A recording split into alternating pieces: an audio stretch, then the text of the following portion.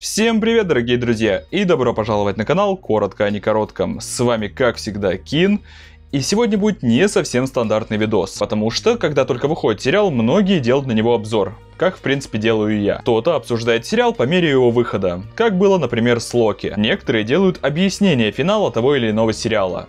Хотя, по сути, многие просто пересказывают то, что увидели, и ничего не добавляют. Я же хочу рассказать сегодня, почему вам стоит ждать сериал «Y. Последний мужчина». Более того, в конце видео я расскажу, чем закончится первый сезон данного сериала. Ну а сейчас начинаем. Татира-тинда, татира-тиндари, татира-тинда, татира-тиндари, татира Итак, я так думаю, что вы и слыхом не слыхивали, что в сентябре стартует сериал «Y. Последний мужчина». Если я прав, напишите в комментариях. Да это и не удивительно, потому что новости о его создании поступали ну уж очень давно, несколько лет назад. Я вообще думал, что его забросили на стадии идеи. Кстати, еще тогда, давно, когда поступили только первые слухи о создании сериала, я случайно наткнулся и приобрел вот эту вот книжечку. Кто ж знал, что их пять.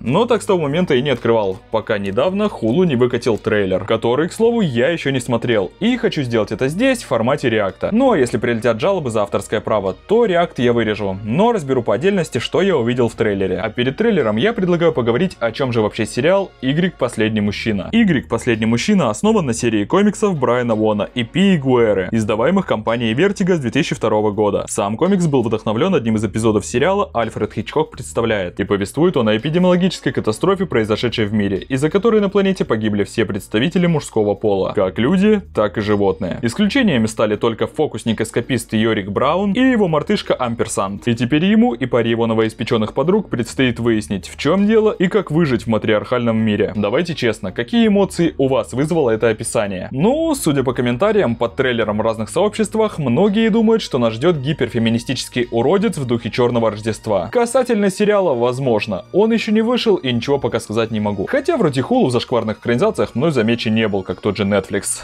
Поэтому есть надежда. Ну а касательно комикса, что если вам скажу, что несмотря на наличие всего одного мужика и кучи сильных и независимых женщин, комикс антифеминистичен. Нет, там реально есть сильные, независимые, но адекватные женщины. А еще есть амазонки. И знаете что, в отличие от того же Черного Рождества, тут не выставляют мужиков плохими.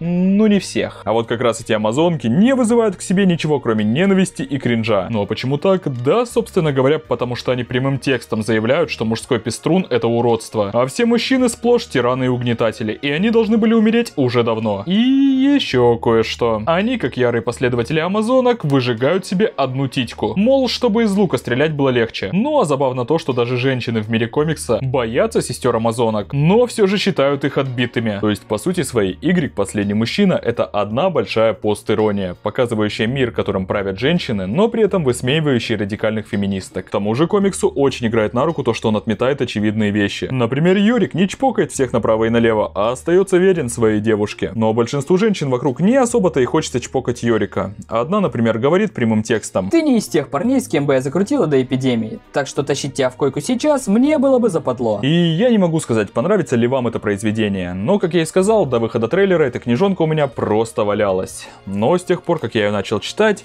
я не могу оторваться. И вот уже читаю третью книгу. Теперь надо нарыть денег еще на две. В общем, попробуйте сами почитать, может и понравится. Не зря же эта серия комиксов получила 5 премий Эйснера и премию Хьюга. И в отличие от нынешнего Оскара, эти награды она получила еще до 2010 года, когда гонка современных трендов была еще не так актуальна. И я вот вообще без зазрения совести скажу, что я стал реально фанатом этого комикса. И я очень надеюсь, что Хулу Хулу все не засрет и сможет нащупать ту тонкую грань постеронии, которая была здесь. И все не скатится к тому, что все мужики плохие, а женщины хорошие. А ведь, как мне кажется, эту грань будет довольно сложно нащупать и показать так, чтобы никто не обиделся. Так что Хулу, пожалуйста, не засри единственный сериал, который я сейчас действительно жду.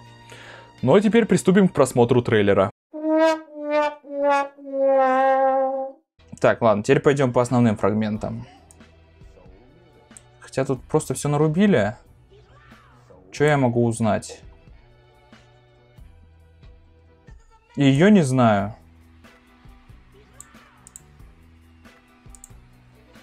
Возможно, просто левая мадам.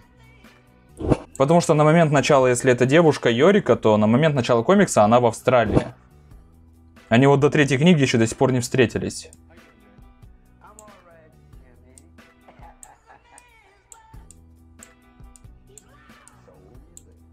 Вот на ней акцент делаю, но я не пойму, кто это. Возможно, это сестра Йорика. Но тогда тоже разногласия с комиксами.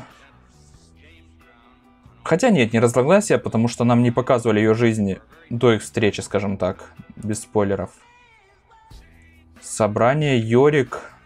Вот он, Йорик сидит. Ну что это за собрание?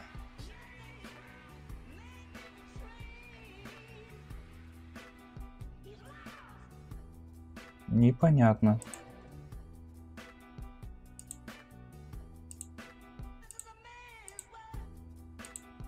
Так, ну это 355. Вот это мадам 355. Это секретный по, а, агент секретного подразделения, который будет помогать Йорику. Мама Йорика. Имя, которое я забыл. Марта.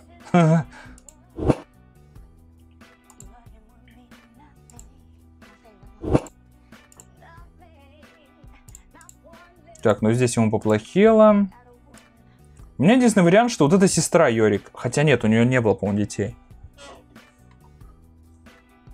Там мужики какие-то. Или мужик с мадам. Вот это я вот не понять не могу, кто. У нее погибли дети.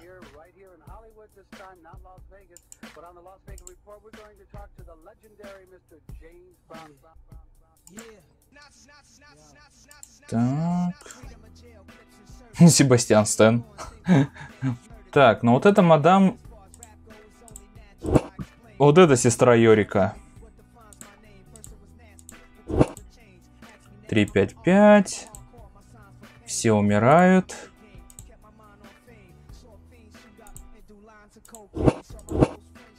На самом деле все выглядит довольно масштабно и красиво. То, что могу отметить. Вот эту мадам где-то видел, но не помню где.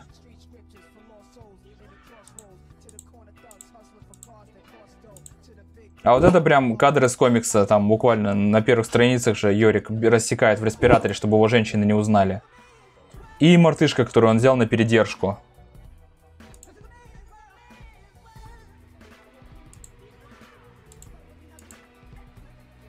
Буковка Y. В комиксе тоже есть такой фрагмент.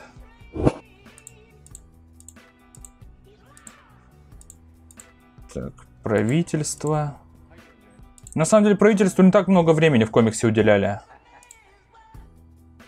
Там есть отдельные выбойки, но не прям чтобы столько. 355.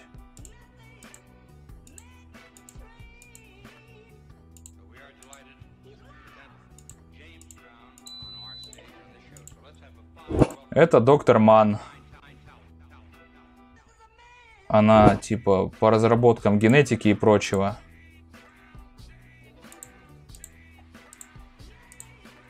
Так, супермаркет какой-то. Ну-ка. Майст Прайс Макс. Может, вот это сестры Амазонки? Но пока что я их не узнаю.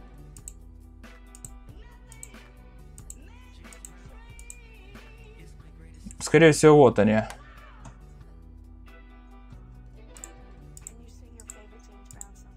Драка, драка.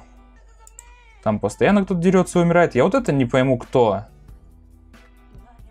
Не могу вспомнить, чтобы я ее там видел.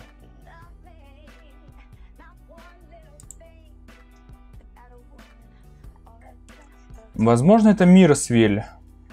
Городок женщин. Но пока зарекаться не буду. Так, на каком-то пригорке стоит. Не знаю, что это.